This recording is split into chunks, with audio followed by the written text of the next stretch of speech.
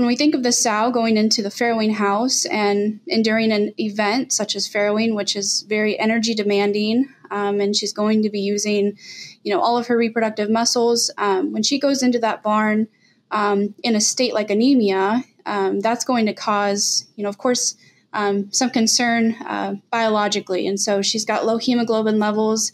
Um, that's uh, most likely going to impair uh, contractions, is what we have gathered.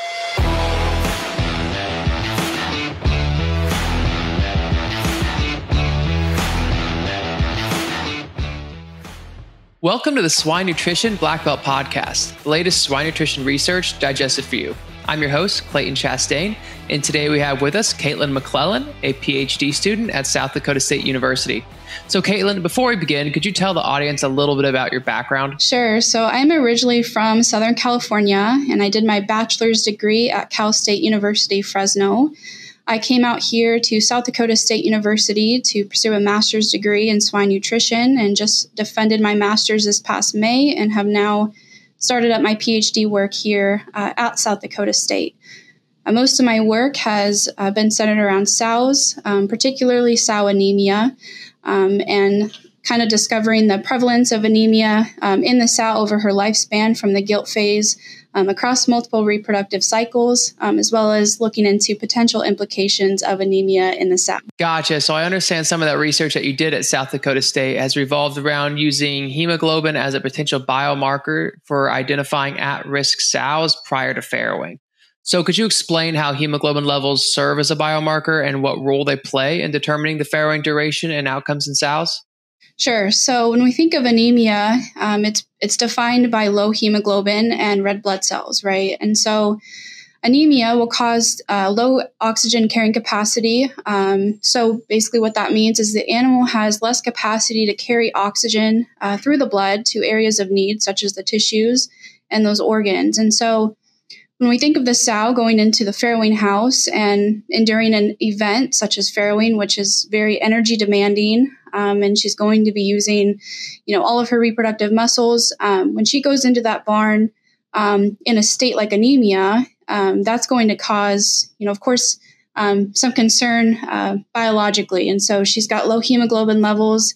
That's uh, most likely going to impair uh, contractions, is what we have gathered. And so we've done a lot of work here uh, using hemoglobin to screen sows going into farrowing. And so we have found that those sows going into farrowing um, at a lower uh, hemoglobin level are going to be those sows that uh, may have more potential complications during that farrowing process. Gotcha. So, what are some of the implications of prolonged farrowing on stillbirth rates and sow health? So, of course, uh, prolonged farrowing rates has long ago been established to be correlated with uh, stillborn rates, right? And so, if they're farrowing longer, they're going to um, you know, have less ability to get those pigs out in a timely manner. They're more likely to experience hypoxia.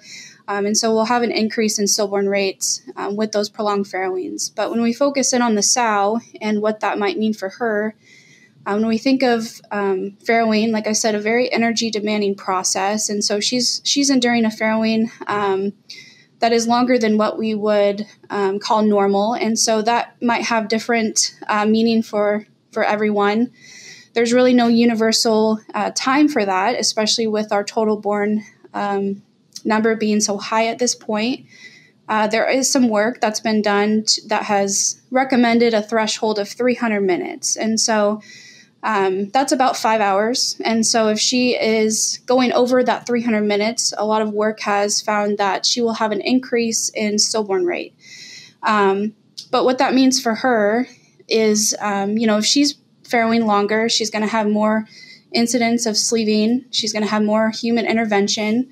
Um, and things like that can lead to post farrowing uh, fever and, um, you know, off feed events during that lactation period. And what you know those things can lead to is an increase in fallout rate, you know, post farrowing and maybe even into her subsequent uh, reproductive cycles. Gotcha. So, what were some of those key findings that you found regarding the relationship between hemoglobin concentration and farrowing duration in sows? Yeah, so as I mentioned, we screened sows going into the farrowing house. And so we screened those sows for hemoglobin at day 112 of gestation. And so Um, hemoglobin is uh, tested via blood, of course, and it is expressed in grams of hemoglobin per deciliter of whole blood typically.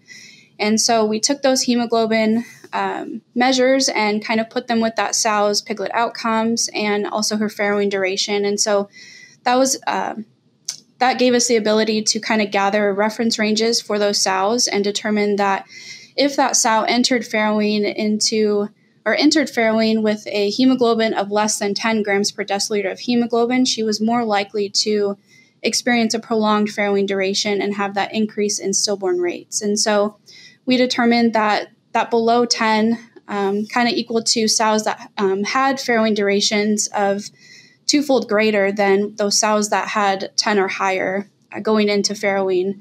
Um, and on top of that, we also did track um, sow removal occurrence from the point of uh, that time when we took the hemoglobin in those sows all the way until her subsequent reproductive cycle um, ended. And so we found that we did have an increase in sow removals um, from those sows that had that uh, prolonged farrowing duration, um, which may or may not have been, you know, directly related to that hemoglobin, but those sows entering with low hemoglobin were more likely to have that prolonged farrowing. Gotcha. So, how might your findings influence practical recommendations for swine producers and veterinarians in managing sow health and optimizing farrowing outcomes? So, I think right now, just being aware of the prevalence of anemia in sow herds is quite important. Aside from work done here, there is some recent work that screened for hemoglobin in sows across 11 commercial sow farms, finding there to be approximately a 50% prevalence across those commercial herds uh, where they screened the hemoglobin in.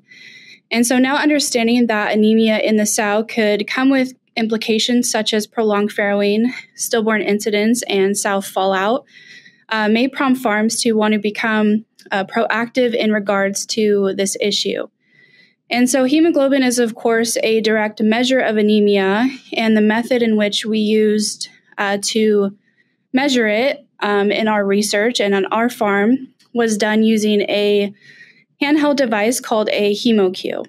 And that HemoCue only requires a small drop of blood. And so typically to obtain that blood, it is done by pricking the ear vein. And so we're able to uh, collect a sow and get hemoglobin reading on that sow in about a minute. So the method is um, very efficient. It's also uh, very cost effective relative to lab testing. And so I do think having a HemoQ on site uh, for testing is something that is feasible, and testing those sows coming into the farrowing room could potentially allow for uh, that front line in the barn to flag those sows and allocate more of their time and attention to those anemic sows. And so, based on what we have seen, those low hemoglobin sows are going to often be the ones who are going to need more assistance with pulling pigs, and those high hemoglobin sows, on the other hand, are often going to be those ones who are going to lay down and have their pigs quickly and often need minimal to no assistance.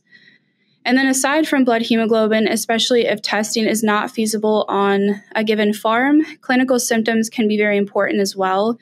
Uh, typically, the anemic sows are often going to be those ones who are really just more lethargic and sluggish appearing.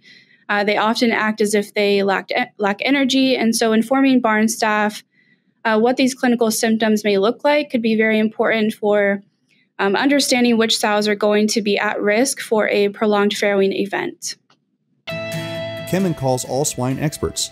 You already know the key to a profitable swine operation is healthy, productive pigs. Our team of swine experts are driven by curiosity to create science backed ingredients and solutions that help you maintain feed and water quality, improve intestinal health, optimize nutrition, and eliminate pathogens.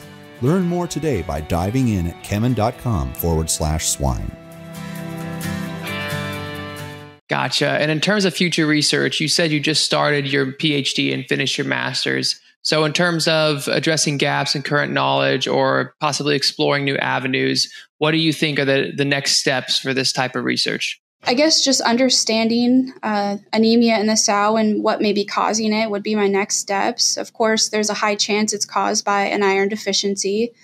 Um, and whether it is caused by an iron deficiency or not, um, I guess kind of pinpointing the um, the epidemiology of the issue right now. And so, um, you know, a lot of people will say, you know, just add more iron to the diet, but that becomes a little bit challenging. Um, currently, we do uh, include iron into the sow diet at two to three fold greater than what is uh, estimated or the requirements that are estimated in the NRC.